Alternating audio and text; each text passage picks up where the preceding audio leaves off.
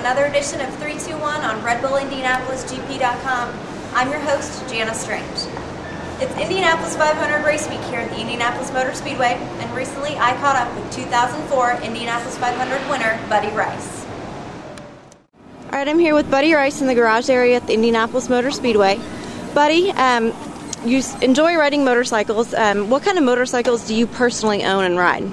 Uh, I have a couple little small dirt bikes and stuff that we go and uh, group of us go and play around with, and uh, I have a, a couple of uh, custom bikes as well from like Gymnastic Customs. Yeah, you still have the bike from when you won the Indianapolis 500? I do have that. It uh, sits up in my uh, upstairs living room. Very nice piece of decoration. Yes, it is. Um, do you ever take bikes out and go road racing, or is it mo- mostly, excuse me, dirt racing? Uh, I don't really do any racing. I just go out and do some casual riding. Yeah. Uh, wouldn't pro- really proclaim myself as a as a real good rider. I just go out and enjoy the outdoors of, of Phoenix and stuff, and just like riding out in the desert. Mm-hmm. Have you ever been to a MotoGP event before? I have not. And we're hopefully going to see you out here for the Red Bull Indianapolis GP on September 14th, 2008. Um, you're a fellow Red Bull rider along with Nicky Hayden, who's the 2006 um, MotoGP World Champion, and he was out here just a few weeks ago. Um, have you ever met Nicky before, any of the Red Bull guys, or how do you how do you guys all work together and come together for events like this?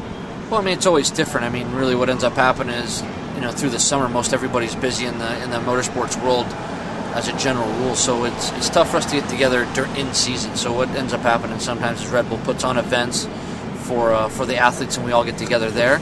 And uh, once in a while, we have uh, opportunities such as the the Red Bull MotoGP here at Indy that we can come out and and, and hang out. It's it's always difficult though because always one or the one or the people are working and stuff. So you don't get to do that too much. But uh, it's always good to take part in uh, in all the Red Bull events. And now, hopefully, we do see you out here. But do you plan on, on making it out when you're not racing Indy cars? Do you like to go out to other motorcycle events? You own a go kart track in Phoenix. What do you typically do other motorized? Yeah, things? I mean, I have a I have a go kart shop in Phoenix. I spend a lot of time at the go kart track mm-hmm. and uh, doing stuff like that. And I go to a lot of different motor racing events. Uh, it just kind of depends on what my schedule allows right now. And, uh, with with me having a new addition to the family, it is also going to take up some more of my time. But we'll just uh, we'll just have to wait and see what happens. We're predicting top speeds for MotoGP here at about 220 or so going down the front stretch.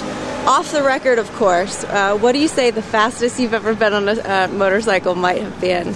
Actually, it's probably not as fast as you think. I mean, I you know run 80 or 90 or so. I, yeah like I said, I mean, I have a lot of respect for, for the motorcycle guys and, and being friends with uh, with Eric and Ben Bostrom and, and those guys. I mean, uh, it's pretty impressive. So I'm not I'm not one to really go out and test the waters too far on the on the motorcycle. So you get your thrills through Eric and Ben. Yeah, exactly. Just watching those guys, and you know, eventually I'll, it'd be cool to meet Nicky Hayden and stuff. But uh, I mean, it's those guys. What they do is uh, pretty impressive. All right. Hopefully, we do see you out here for MotoGP. But until then, um, your plans are the Indianapolis 500 and the rest of the IndyCar series. Um, and obviously, your goal is going to be to win the race again. But you know, what are you hoping to accomplish for the rest of the month before the race? Well, I mean, realistically, we need to still get qualified. We only have one day of qualifying. So we'll get through that this weekend, either Saturday or Sunday, depending on the weather. And we seem to have a, a strong month. You know, I mean, our cars have been quick. We've been inside the top 10. Uh, last year, I was new with the team, and, you know, we had a solid top 10 going and uh, got crashed out right at the end. So hopefully this year we can, uh, you know, be in the top 10, maybe even inside the top five, and run with those big teams with the big budgets and uh, have a solid finish. It'd be a, it'd be a great run here for us. All right, thank you very much. Enjoy your month.